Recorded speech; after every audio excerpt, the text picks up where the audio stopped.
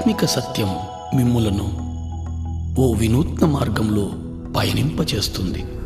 ఆ మార్గం మీకు ఉన్నత జ్ఞానాన్ని ఆనందాన్ని కలిగింపచేస్తుంది. తద్వారా మీ జీవితంలో సరికొత్త మార్పు వస్తుంది. ధ్యానం ధ్యానానుభవాల పరంపరే ఈ ఆధ్యాత్మిక సత్యం. సంపూర్ణ ప్రశాంతతతో చూడండి. కేవలం సాక్షిగా చూడండి.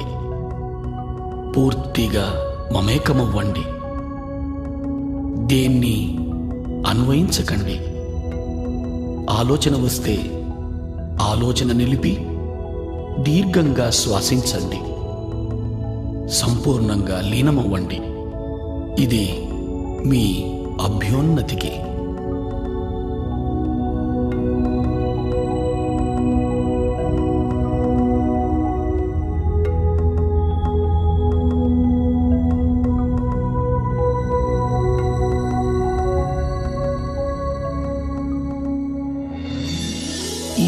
మహావిశ్వంలో మన ఉనికి అనుమాత్రమే. ఇక్కడ మన అందరి తాపత్రయం మంచి ఆరోగ్యం సంసారం సంపద శాంతి జ్ఞానాల కొరకే. మొత్తం మీద అన్ని సమయ సందర్భాల్లో ఆరోగ్య ఆనందమయ జీవనం కోసమే మన తాపత్రయం. అయినా దాన్ని మనం పొందగలుగుతున్నామా? తప్పక పొందగలం.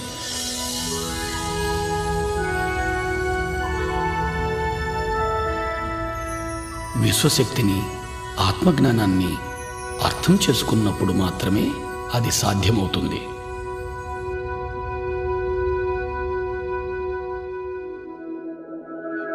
ఇప్పుడు విశ్వశక్తి గురించి తెలుసుకుందాం.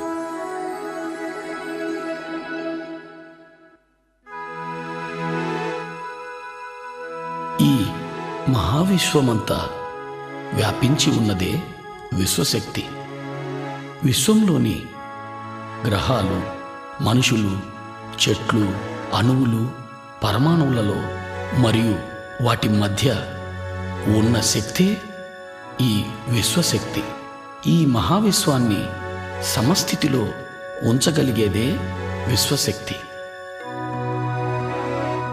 విశ్వశక్తి ప్రాణశక్తిగా కూడా పిలువబడుతూ ఉంది. మన అభ్యున్నతికి మూలం ఈ విశ్వశక్తి. మన నడత నడవడికల ఆధారం ఈ విశ్వశక్తి. మనలను నడిపే ఇంధనమే ఈ విశ్వశక్తి.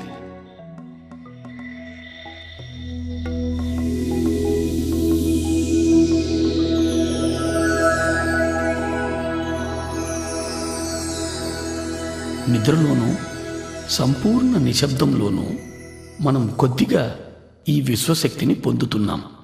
అలా పొందిన శక్తిని మన దినచర్యలలోని మనో కార్యక్రమాలకు అంటే చూడడం మాట్లాడడం కదలడం ఆలోచించడం లాంటి అన్ని శారీరక కార్యక్రమాలకు వాడుతున్నాం.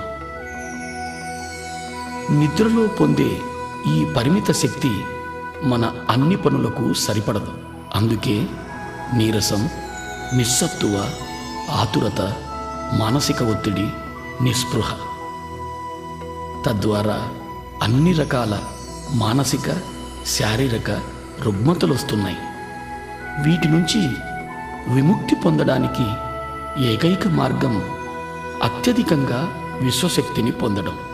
అధిక విశ్వశక్తిని పొందే ఏకైక మార్గం ధ్యానం.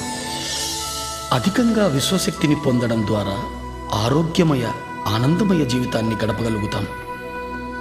మనమున్న స్థితిలో సంపూర్ణంగా ఇమడగలుగుతాం.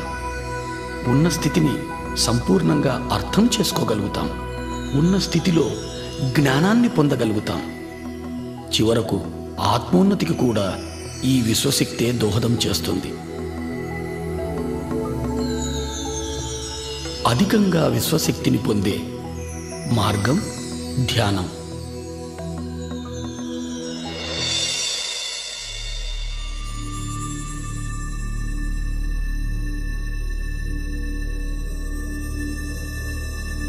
నిద్ర ఎరుకలేని ధ్యానం.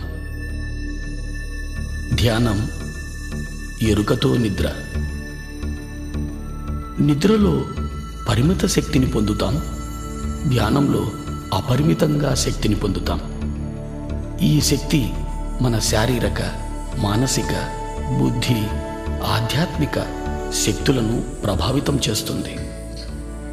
ఇది మన అతీంద్రియ శక్తులను కూడా ప్రభావితం చేస్తుంది. ధ్యానం ద్వారా మనం పొందే శక్తి వల్ల శారీరక ఆరోగ్యం మానసిక ప్రశాంతత ఉన్నత విచక్షణ జ్ఞానం పొందుతాం. మహాద్భుత జ్ఞానాన్ని పొందడానికి ఏకైక మార్గం ధ్యానం. దైనందిక జీవితంలో కూడా అత్యున్నత స్థానాన్ని పొందడానికి ధ్యానం ఎంతో దోహదం చేస్తుంది.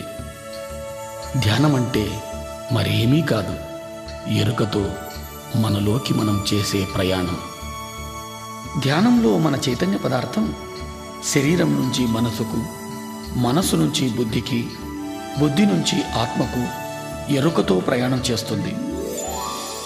ధ్యానం కోసం మనం మొదట శరీరాన్ని మనసును నిలువరింపచేయాలి. అంటే శారీరక కదలికలను చూడటాన్ని మాట్లాడటాన్ని ఆలోచించటాన్ని నిలిపివేయాలి. ఇప్పుడు ధ్యానం ఎలా చేయాలో తెలుసుకుందాం.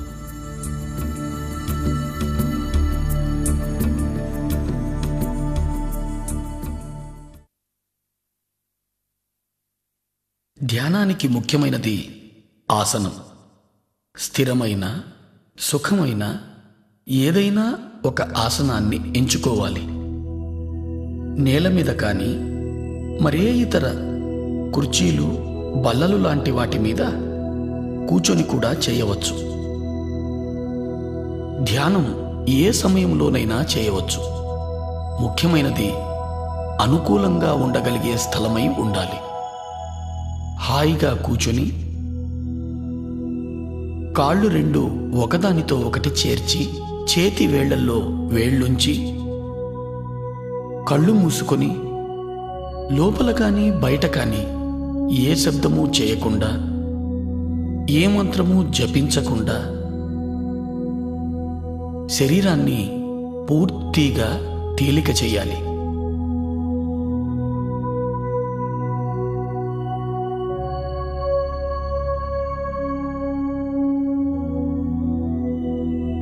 మనం కాళ్ళను కలిపి చేతి వేళ్ళు వేళ్ళు కలపడం ద్వారా మన చుట్టూ శక్తి వలయం ఏర్పడుతుంది.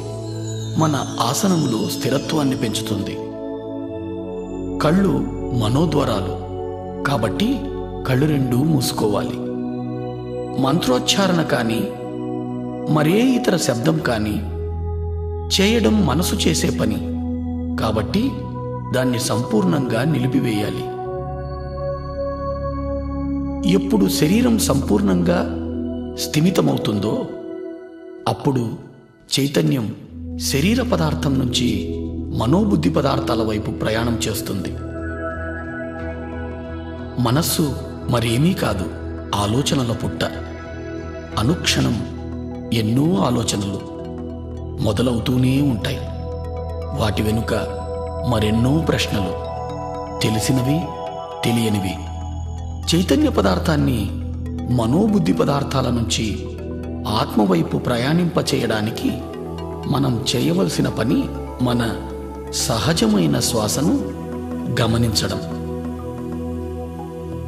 గమనించడం అనేది ఆత్మ యొక్క ప్రక్రియ. సాక్షిభూతంగా సహజ శ్వాసను గమనిస్తూ ఉండాలి.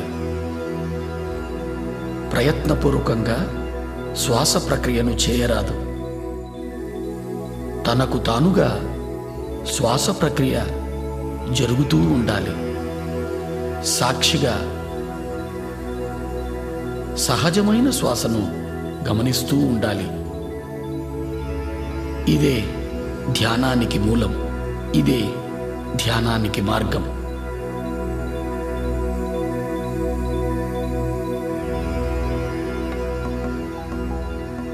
ఆలోచనల వెంట పోరాదు. ప్రశ్నలలో చిక్కుకోరాదు. ఆలోచనలను తుంచి ధ్యాసను శ్వాస వైపు మరల్చాలి. సహజమైన శ్వాసను మాత్రమే గమనిస్తూ ఉండాలి. పూర్తిగా శ్వాసతోనే ఉండాలి. అప్పుడు ఆలోచన సాంద్రత క్రమంగా తగ్గడం మొదలవుతుంది. క్రమంగా శ్వాస పరిమాణం కూడా పలుచబడుతూ చిన్నదవుతూ వస్తుంది.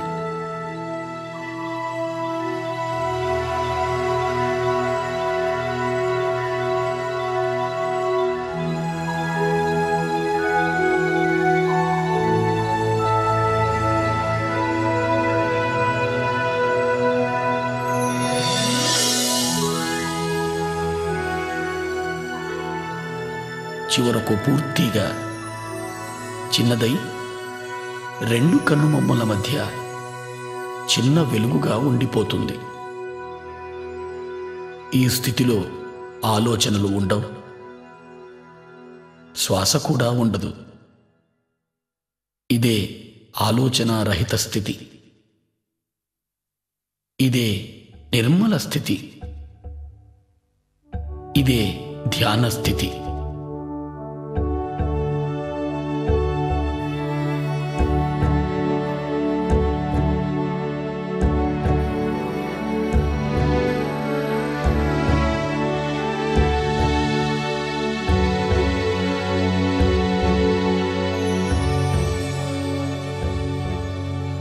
ఈ స్థితిలోనే విశ్వశక్తి మనలోకి ప్రవహించడం మొదలవుతుంది.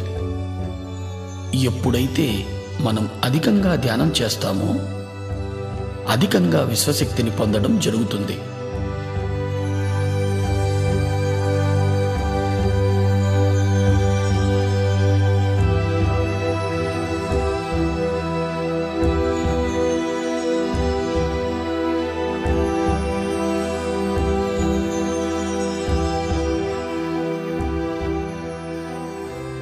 అలా పొందిన విశ్వశక్తి మన ప్రాణమయ శరీరంలోకి ప్రవహిస్తుంది.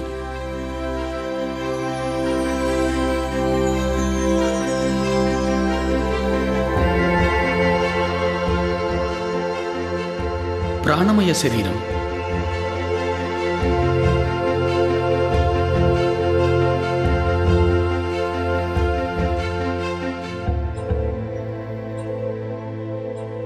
ప్రాణమయ శరీరం. సుమారు డెబ్భై రెండు వేలకు పైగా నాడులతో నిర్మితమై శరీరమంతా వ్యాపించి ఉంది. ఈ నాడులన్నీ తలపై మధ్య భాగం నుంచి మొదలవుతాయి. ఈ మొదలయ్యే భాగాన్ని బ్రహ్మరంధ్రము అంటారు.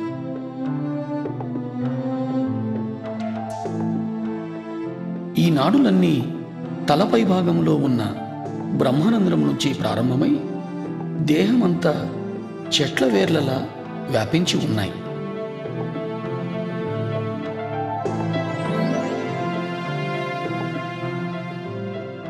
ఈ ప్రాణమయ శరీరమే మన జన్మ నిర్మాణానికి మూలం. ఈ ప్రాణమయ శరీరమే మన నడతకు నడవడికకు ఆధారం.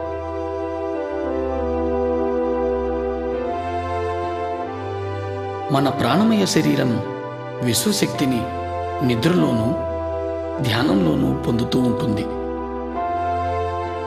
ఇలా పొందిన విశ్వశక్తిని మన శరీరము మనస్సు బుద్ధి చేసే పనులకు వాడుతూ ఉన్నాం. అనగా శారీరక ప్రక్రియలు చూడడం మాట్లాడడం ఆలోచించడం మొదలైనవి.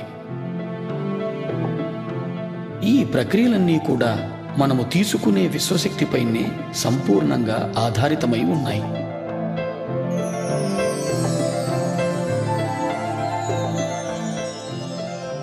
మనలోకి ప్రవహించే విశ్వశక్తి సంపూర్ణంగా మన ఆలోచనలపైనే ఆధారితమై ఉంది. మనకు ఆలోచనలు ఉన్నప్పుడు మనలోకి విశ్వశక్తి ప్రవాహం నిలువరింపబడుతూ ఉంది. అనగా ఆలోచనలు మన విశ్వశక్తిని అడ్డగిస్తున్నాయి. ఎప్పుడైతే విశ్వశక్తి ప్రవాహం ప్రాణనాడులలో తగ్గుతుందో అప్పుడు ప్రాణనాడులు కుంచుకుపోతాయి. అలా కుంచుకుపోవడం వలన ప్రాణమయ శరీరంలో మచ్చలు ఏర్పడతాయి. ఆ మచ్చలే క్రమంగా స్థూల శరీరంపై వ్యాధులుగా రూపాంతరం చెందుతాయి. అంటే అన్ని రోగాలకు మూలం ప్రాణమయ శరీరంలో ప్రాణశక్తి లోపం.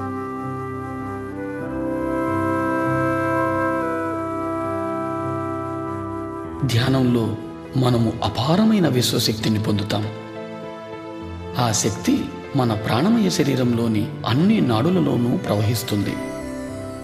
ఎప్పుడైతే ఈ విశ్వశక్తి మన నాడుల్లో ప్రవహిస్తుందో ఆ ప్రవాహపు తీవ్రతకు నాడులలో ఉన్న అడ్డంకులన్నీ తొలగిపోయి మచ్చలన్నీ మాసిపోతాయి ఎప్పుడైతే మచ్చలన్నీ మాసిపోతాయో అప్పుడు మనం అన్ని రకాల రుగ్మతల నుంచి విముక్తి పొందగలుగుతాం.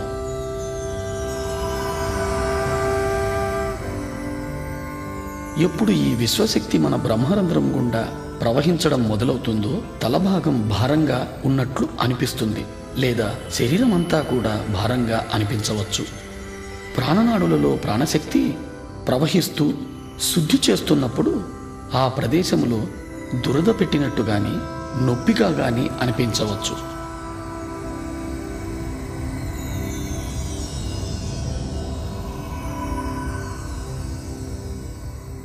ఈ నొప్పులన్నింటికి ఎలాంటి మందులు వాడనవసరం లేదు.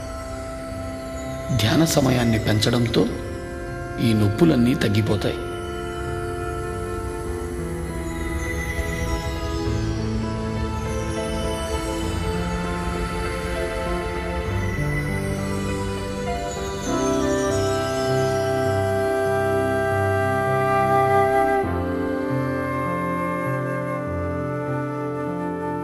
అత్యధికంగా విశ్వశక్తిని పొందడం ద్వారా మనం అన్ని రకాలైన శారీరక మానసిక రుగ్మతల నుంచి విముక్తి పొందగలుగుతాం.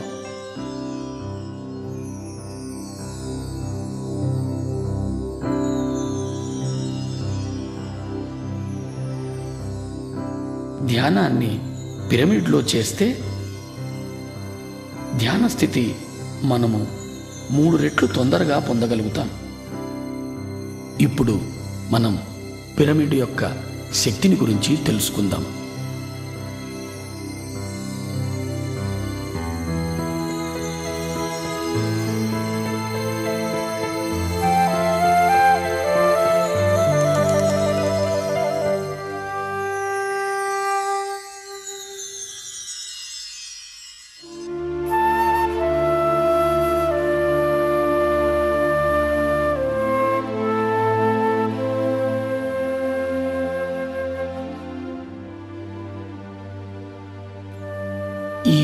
పైన అత్యధికంగా విశ్వశక్తిని పొందే ఏకైక కట్టడం పిరమిడ్.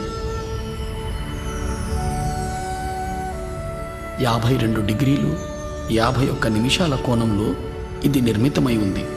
ఈ కోణం వల్లనే పిరమిడ్ అత్యధికంగా విశ్వశక్తిని పొందగలుగుతోంది.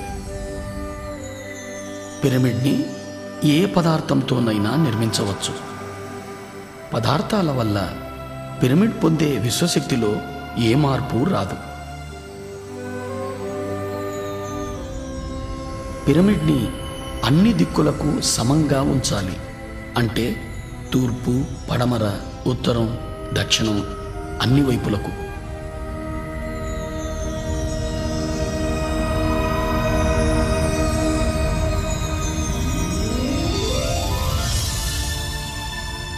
పిరమిడ్లో విశ్వశక్తి కింద నుంచి మూడింట ఒక ఎత్తులో అన్ని వైపుల నుంచి కేంద్రీకృతమై ఉంటుంది.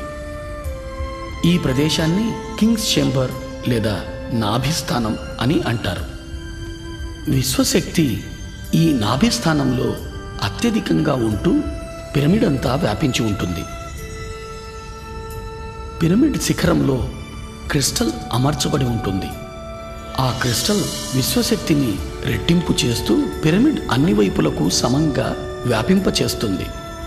పిరమిడ్లో నిర్మల స్థితి లేదా ఆలోచన రహిత స్థితి మూడు రెట్లు తొందరగా పొందగలుగుతాం.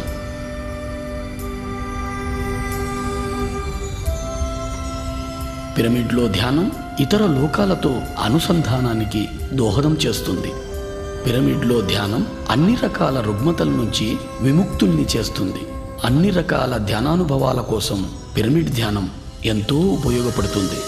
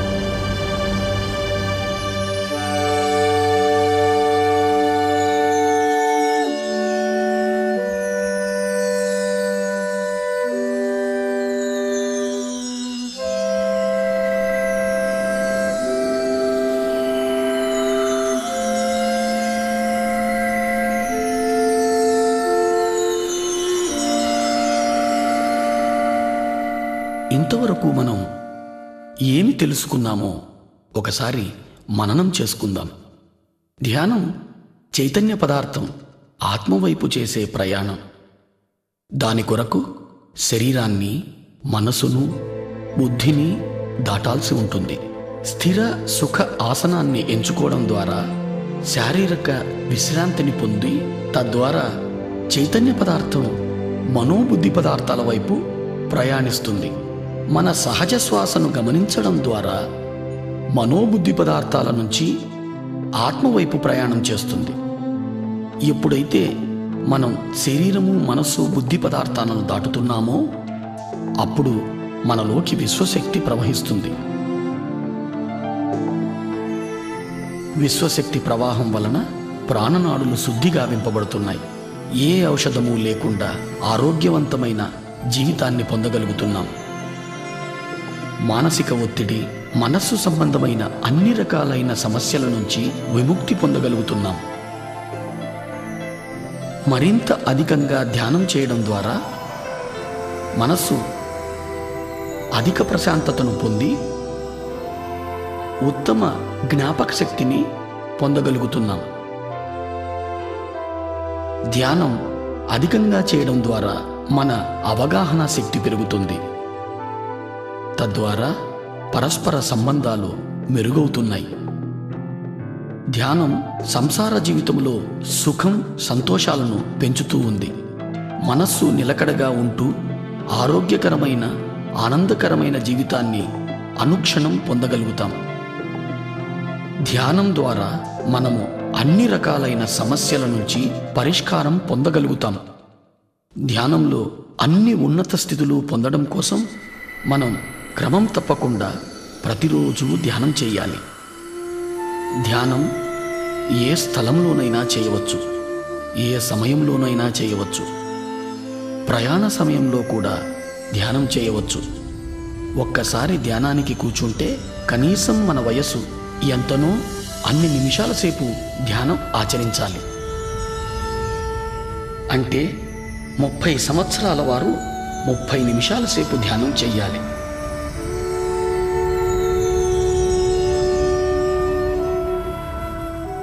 ధ్యానం కోసం సంసార జీవితాన్ని త్యజించనవసరం లేదు. ప్రతి ఒక్కరూ ధ్యానం చెయ్యాలి.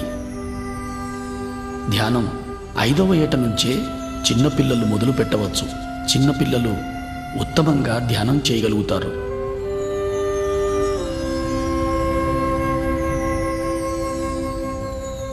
ధ్యానం నేర్వడం కోసం ఏ గురువు కోసము వెతకనవసరం లేదు.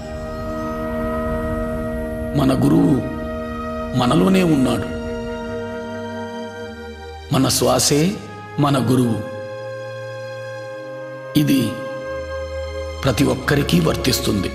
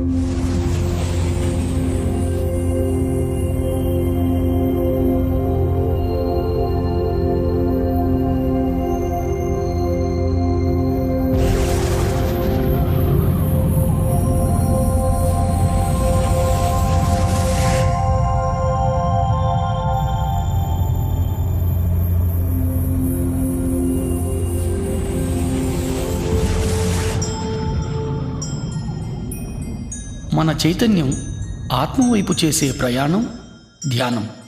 ధ్యాన స్థితిని పొందడానికి శరీరాన్ని మనసును నిలువరింపచేయాలి. ఎప్పుడైతే శరీరాన్ని మనసును నిలువరింపచేస్తామో అప్పుడు మన చైతన్య పదార్థం ఆత్మవైపు ప్రయాణం చేస్తుంది. అప్పుడు మనలోకి అపారంగా విశ్వశక్తి ప్రవహిస్తుంది. ఎక్కువగా ధ్యానం చేయడం ద్వారా ఆత్మజ్ఞానాన్ని పెంచుకోగలుగుతాం. ఇప్పుడు మనం జ్ఞానం అంటే ఏమిటో తెలుసుకుందాం. ధ్యానం మనల్ని ఉన్నత జ్ఞానం వైపు నడిపిస్తుంది. జ్ఞానం అంటే మరేమీ కాదు అనుభవం. అనుభవం అంటే సంపూర్ణంగా ఆత్మసహితంగా జీవించడం. అధికంగా సాధన చేయడం ద్వారా అధిక శక్తిని పొందగలుగుతున్నాం. అధిక శక్తి ద్వారా ప్రతి సందర్భంలోనూ సంపూర్ణంగా ఇమడగలుగుతాం. సంపూర్ణంగా ఇమడగలగడం ద్వారా ఉన్నత జ్ఞానాన్ని పొందగలుగుతాం.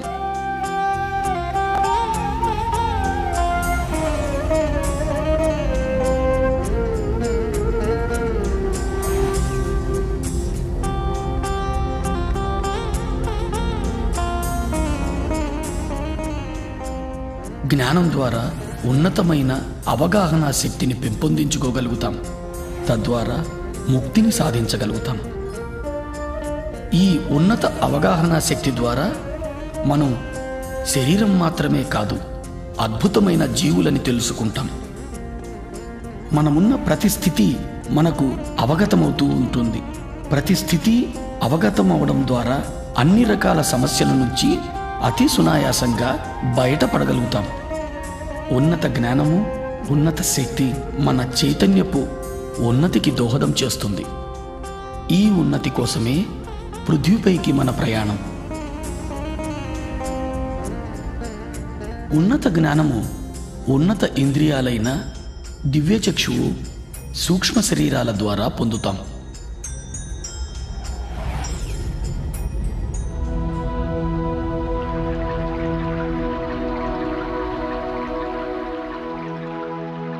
దివ్యచక్షువు అద్భుతమైన ఆత్మ యొక్క ఇంద్రియం. ఉన్నత లోకాల్లో చూడటానికి వినడానికి అనుభూతి పొందడానికి ఉపయోగపడే అద్భుతమైన ఇంద్రియమే ఈ దివ్యచక్షువు.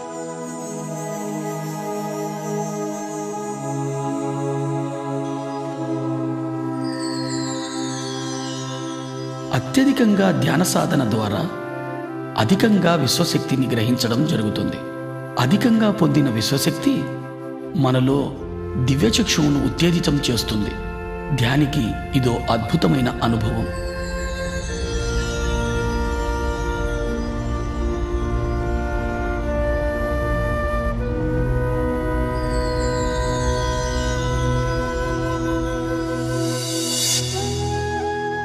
దివ్యచక్షువు ఉత్తేజితమవుతున్న సందర్భంలో నొసటి భాగంలో రెండు కనుబొమ్మలం నడుమ నొప్పిగా కానీ లాగినట్టు కానీ అనుభూతులు కలుగుతాయి.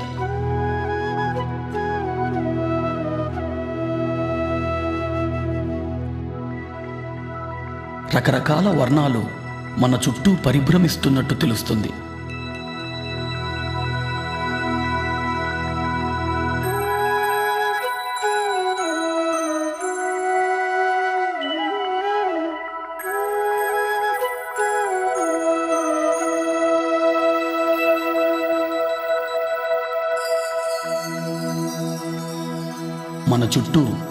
శబ్దం గుసగుసల శబ్దం వినపడుతున్నట్లు అనిపిస్తుంది.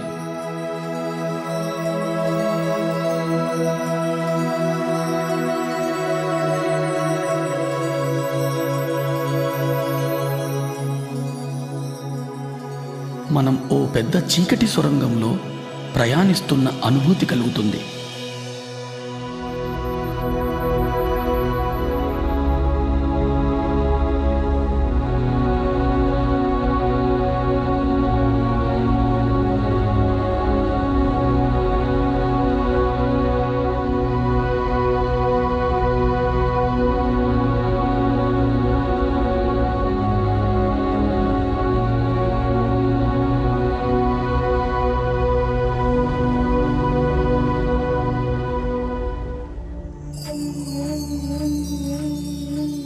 ఎప్పుడైతే ప్రాణమయ శరీరం సంపూర్ణంగా విశ్వశక్తిని పొందుతుందో అప్పుడు దివ్యచక్షువు పరిపూర్ణమవుతుంది.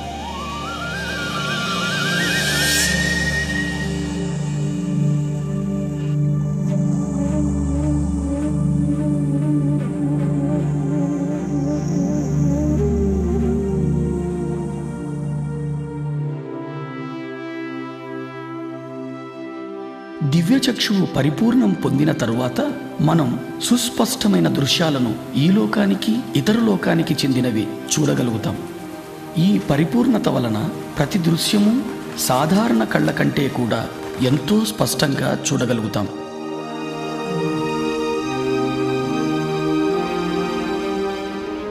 మనం ఇతర లోకాల విషయాలను కూడా చాలా స్పష్టంగా చూడగలుగుతాం. మనం ఎక్కడో జరిగే విషయాలను ఇక్కడ నుంచే స్పష్టంగా చూడగలుగుతాం. మనం ఎన్నో దృశ్యాలను ఎన్నో విషయాలను చాలా స్పష్టంగా చూడగలుగుతాం.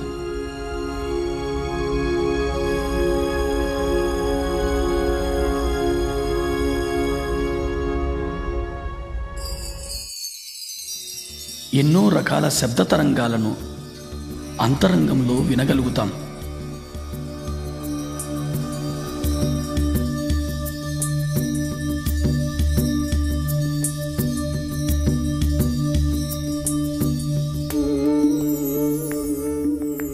ఎందరో మహానుభావులను మనం ఎరిగిన రూపంలో వారిని చూడడం జరుగుతుంది.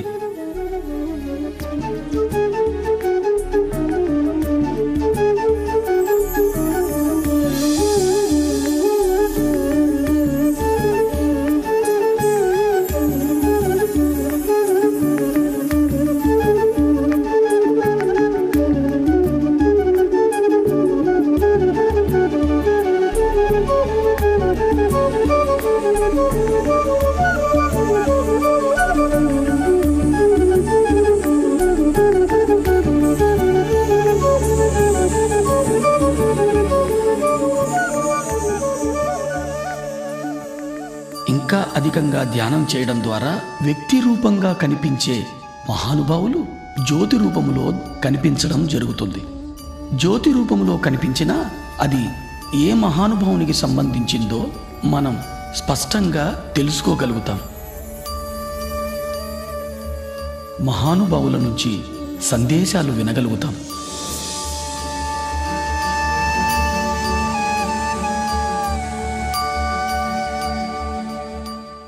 చీకటి సొరంగంలో ప్రయాణిస్తూ చివరకు దివ్యమైన తేజంలో లీనమవుతున్నట్టు అనుభూతి పొందుతాం.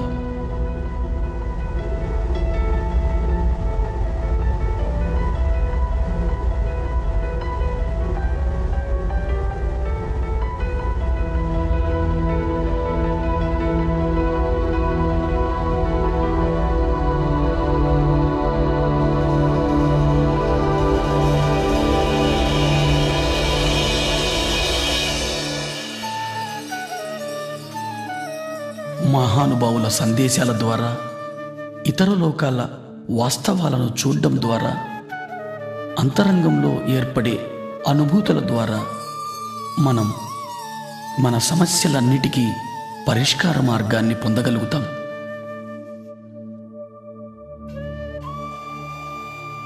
తద్వారా మన నడత మారుతుంది. మన నమ్మకాలలో మార్పు వస్తుంది. ఇదే ఈ దివ్యచక్షు ద్వారా మనం పొందే అద్భుతమైన అనుభవం. ఈ దివ్యచక్షు అనుభవం తరువాత మన దైనందిక జీవితంలో కూడా ఎన్నో ఉన్నతమైన మార్పులను గమనించడం జరుగుతుంది.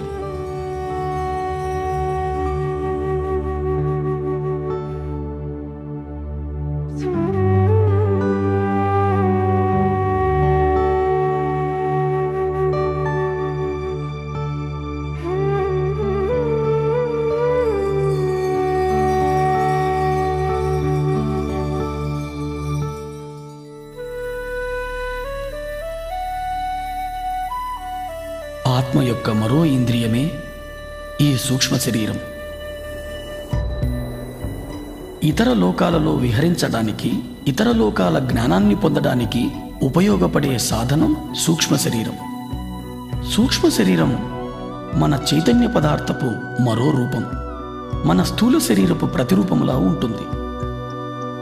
సాధారణ స్థితిలో చైతన్య పదార్థం మన స్థూల శరీరమంతా వ్యాపించి ఉంటుంది. ఎప్పుడు మనం సంపూర్ణంగా విశ్వశక్తిని పొందుతామో ఎప్పుడు మనకు సూక్ష్మ శరీర యానం చేయాలనే అనుభూతి కలుగుతుందో అప్పుడు మన చైతన్య పదార్థం సూక్ష్మ శరీర రూపంలో యానం చేస్తుంది. సాధారణంగా సూక్ష్మ శరీర యానపు అనుభవాన్ని ఎరుక లేకుండా నిద్రలో మనం పొందుతున్నాం. వీటినే మనం కలలు అంటాం. ఎరుకతో మనము ఈ సూక్ష్మ శరీర యానపు అనుభవాన్ని పొందే అవకాశం ఒక్క ధ్యాన స్థితిలో మాత్రమే జరుగుతుంది. సూక్ష్మ శరీరం కాల పరిస్థితులకు అతీతంగా ప్రయాణించగలదు. ఎరుకతో సూక్ష్మ శరీర యానం చేసిన తరువాత సరికొత్త కోణంలో జీవిత గమనాలను దర్శించడం జరుగుతుంది.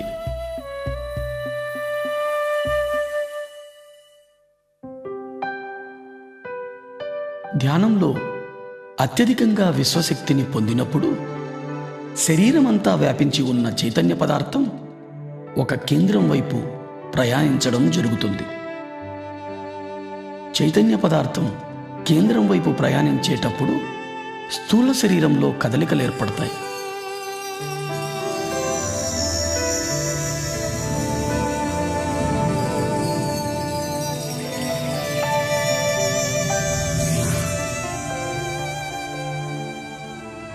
మనం మన శరీరమంతా తేలికైపోతున్న అనుభూతి పొందుతాం. మన కాళ్ళు చేతులు లేవేమో అనే భావన కలుగుతుంది. మన శరీరం పూర్తిగా తేలికగా దూదిపించేలా అనిపిస్తుంది. శరీరంలోని వివిధ ప్రదేశాలలో కదలికలను గమనిస్తాం. ఒక్కొక్కసారి పూర్తి శరీరం తిరుగుతున్నట్లు అనిపిస్తుంది ఇదే సూక్ష్మ శరీరపు కదలికల అనుభవాలు.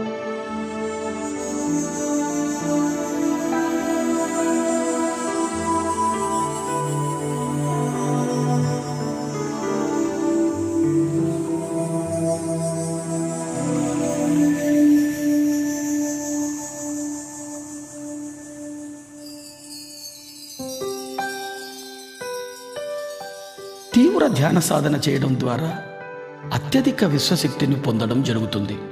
శరీరం అంతా వ్యాపించి ఉన్న చైతన్య పదార్థం సూక్ష్మ శరీర రూపం ధరించి విపరీతమైన వేగంతో కదలడం జరుగుతుంది. తద్వారా స్థూల శరీరంలో కదలికలు ఏర్పడతాయి. ఆ కదలికల తరువాత సూక్ష్మ శరీరం స్థూల శరీరం నుంచి వెలుపలికి వస్తుంది.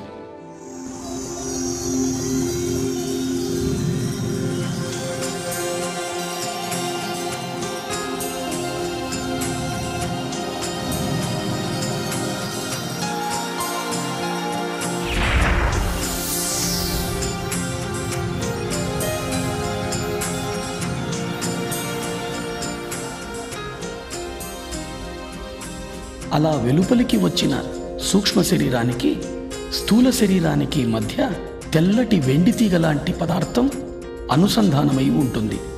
దీనినే సిల్వర్ కార్డ్ పాశము అంటారు. ఈ సిల్వర్ కార్డ్ అనేది అధిక శక్తితో కదిలే చైతన్య పదార్థమే. ఇది స్థూల శరీరం నుంచి సూక్ష్మ శరీరానికి సూక్ష్మ శరీరం నుంచి స్థూల శరీరానికి సమాచారాన్ని చేరవేస్తూ ఉంటుంది. సూక్ష్మ శరీర యానం మన చైతన్య పదార్థంతో చేసే ప్రయాణం. ఈ ప్రయాణం అన్ని లోకాలకు చేయవచ్చు. సూక్ష్మ శరీర యానం చేయడం ద్వారా అపారమైన ఆత్మ విజ్ఞానాన్ని పొందుతాం. సూక్ష్మ శరీరం అన్ని రకాలైన పదార్థాల గుండా ప్రయాణించగలుగుతుంది. అంటే భూమి నీరు అగ్ని ఆకాశం వాయువు.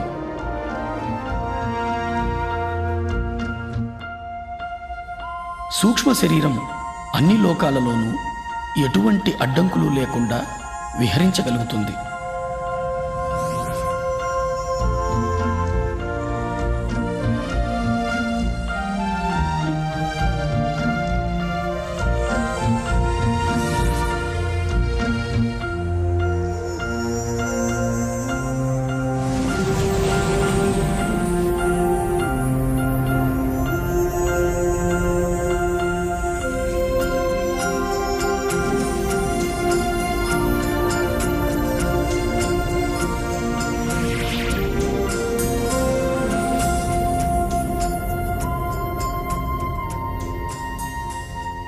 సూక్ష్మ శరీరం బయటకు వచ్చిన తరువాత స్థూల శరీరాన్ని చూడడం జరుగుతుంది.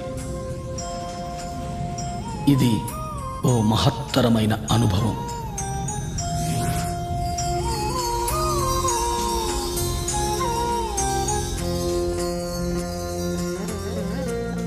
ఈ అనుభవం తరువాత సంపూర్ణంగా నేను స్థూల శరీరం కాదు స్థూల శరీరంలో వసిస్తున్నాను అనే విషయాన్ని స్పష్టంగా అవగాహన చేసుకోగలుగుతాం. ఇదో మహద్భుతమైన అవగాహన. ప్రతి ఒక్కరూ ఈ అనుభవాన్ని తప్పక పొందాలి. ఈ అనుభవం పొందిన తరువాత మనం ఏర్పరచుకున్న పరిమితులన్నీ తొలగిపోతాయి. మనము అపరిమితులమని అర్థం చేసుకోగలుగుతాం. ఈ అనుభవం తరువాత నేను అంటే చైతన్య పదార్థం అని స్పష్టంగా అవగతమవుతుంది.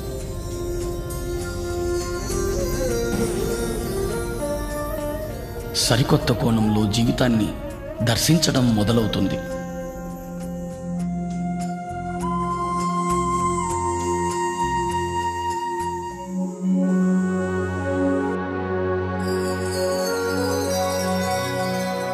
నిర్వాణ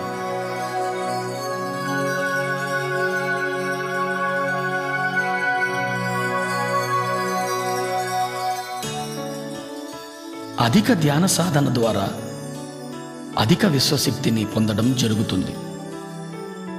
అధిక విశ్వశక్తి ఏ సందర్భంలోనైనా సంపూర్ణంగా ఇమడడానికి దోహదం చేస్తుంది. సంపూర్ణంగా ఇమడడం అంటే శరీరము మనస్సు బుద్ధి ఆత్మలతో సందర్భంలో మమేకమవ్వడం. తద్వారా సందర్భంలోని సంపూర్ణ జ్ఞానాన్ని పొందడం.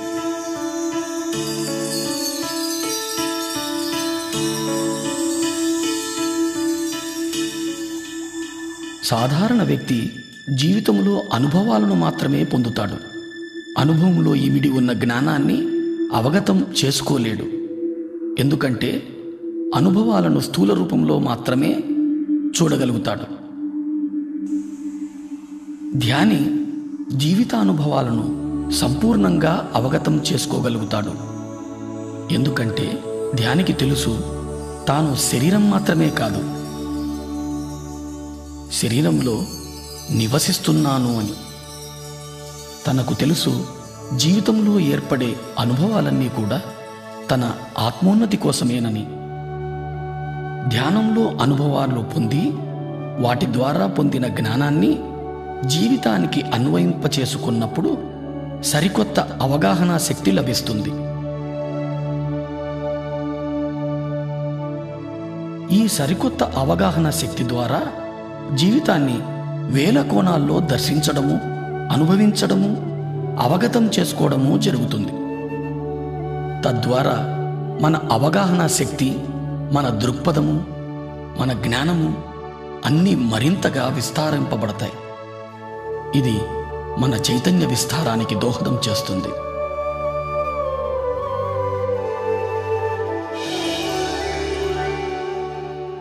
ఈ స్థితిని ధ్యానంలో వేయి రేకుల బంగారు కమలం వికసిస్తున్న అనుభవంగా పొందుతాం.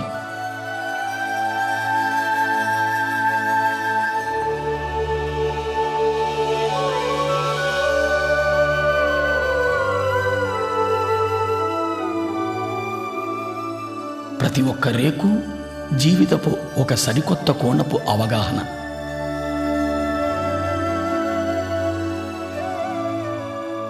ఇలా వేల కోణాల్లో జీవితాన్ని దర్శించగలిగినప్పుడు ఇతర జీవరాశుల మీద కూడా అవగాహన పెరుగుతుంది. ఈ అనుభవం ద్వారా మనకు చాలా స్పష్టంగా అర్థమయ్యే సత్యం మనకు చావు లేదు అని మనం సదా జీవించి ఉన్న చైతన్య పదార్థాలు అని. పుట్టుక చావుల సంపూర్ణ జ్ఞానాన్ని అవగతం చేసుకోగలుగుతాం.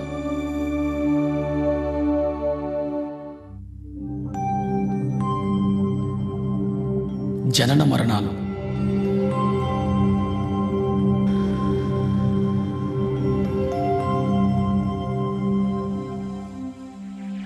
మనం విశ్వ చైతన్యం నుంచి అంశగా విడివడి పృథ్వీపైకి చేరుతున్నాం.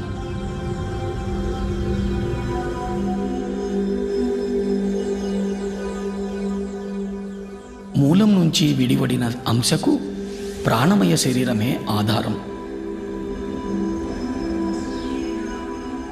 పృథ్వీపైకి మన రాకకు కారణం రకరకాల అనుభవాల జ్ఞానాన్ని పొందడం కోసమే. దాని కొరకు మనం గర్భాన్ని తల్లిదండ్రులను పరిసరాలను పరిస్థితులను ఎంచుకొని వస్తాం.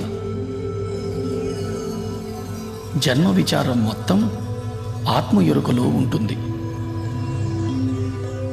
గర్భాన్ని ఎంచుకున్న తరువాత అంశ గర్భంలో చేరుతుంది. ఎప్పుడైతే అంశ గర్భాన్ని చేరుతుందో గర్భస్థ శిశువుకు ప్రాణం చేకూరుతుంది.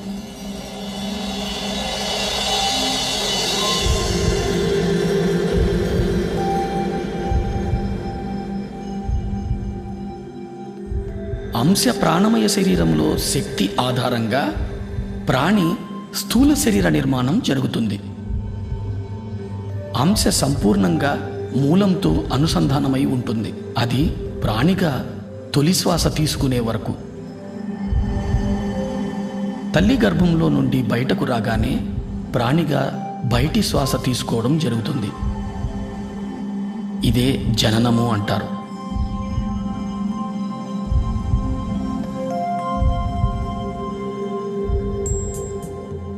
తొలి శ్వాస నుంచి ఏడవ ఏట వరకు ప్రాణి మూలపు అవగాహన కలిగి ఉంటుంది. మనస్సు నిర్మాణం ఏడవ ఏట నుంచి మొదలై పద్నాలుగవ ఏటకు పరిపూర్ణమవుతుంది. బుద్ధి నిర్మాణం పద్నాలుగవ ఏట మొదలై ఇరవై ఒకటి నాటికి పరిపూర్ణమవుతుంది. ఇరవై ఒకటి నుంచి ఇరవై ఎనిమిది వరకు శరీరము మనస్సు బుద్ధి మూడింటి కలయికల జీవిత అనుభవాన్ని పొందుతాం. ఇరవై ఎనిమిదవ ఏట నుంచి జీవితం పూర్తిగా ఆత్మజ్ఞానం మీదనే ఆధారితమై ఉంది. ఆత్మజ్ఞాన అవగాహన లేకుండా చైతన్యం శరీరము మనసుల మధ్య ఉండిపోతుంది. తద్వారా జీవితంలో దుఃఖం మొదలవుతుంది.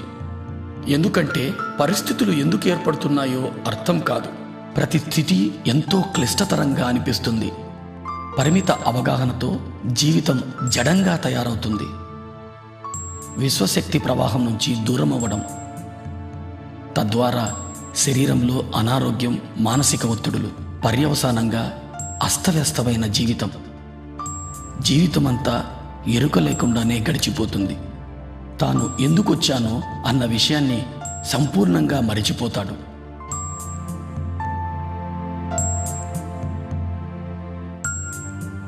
అస్తవ్యస్త అవగాహన మూలంగా యవ్వనం వృద్ధాప్యం గడిపి చివరకు శరీరం వదిలిపోతాడు. దీన్నే మనం చావు అంటాం.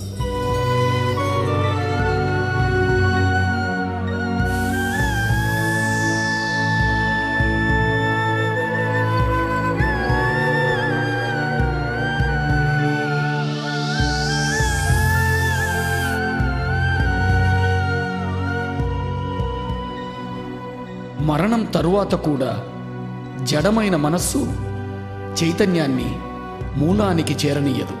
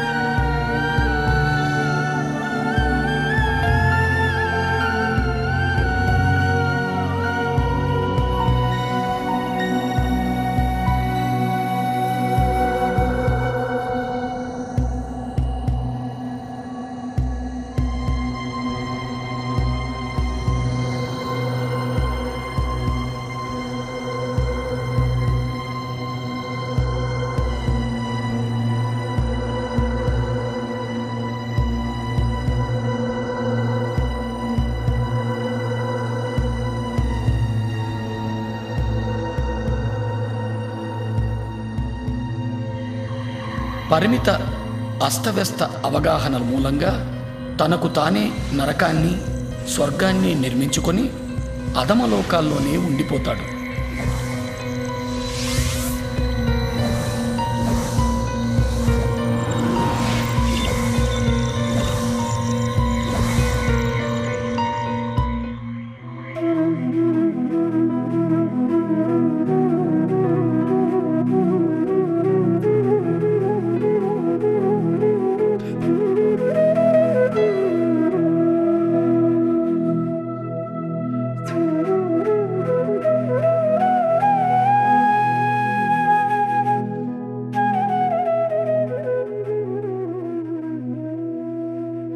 చైతన్యాన్ని ఆత్మలో అనుసంధానం చేసి జీవించడం జరుగుతుందో అప్పుడు అన్ని సందర్భాలలోనూ ఆనందమయంగానే జీవించడం జరుగుతుంది. మరణానంతరం కూడా అధమలోకాల్లో కాక నేరుగా మూలానికే చేరుకుంటాడు.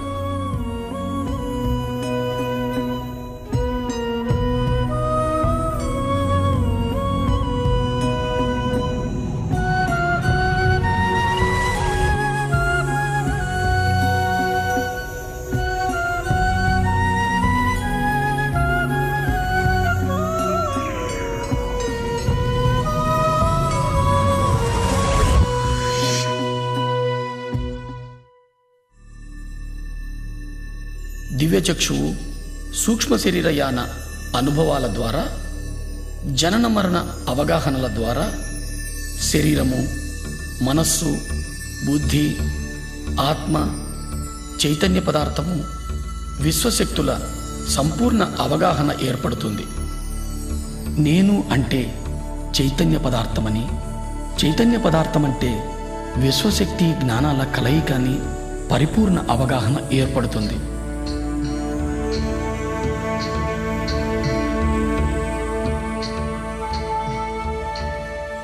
అవగాహనతో జీవితాన్ని సాగించగలిగినప్పుడు ఇతర లోకాల నిర్మాణానికి ఈ మహావిశ్వ నిర్మాణానికి సంబంధించిన జ్ఞానం పొందడం జరుగుతుంది.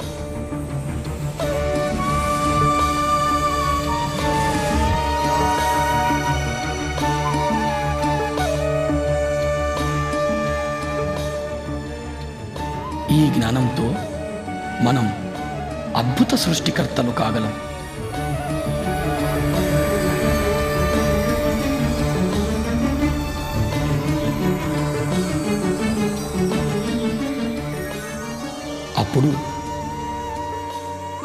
ఏది పలికినా కొత్తదనమే.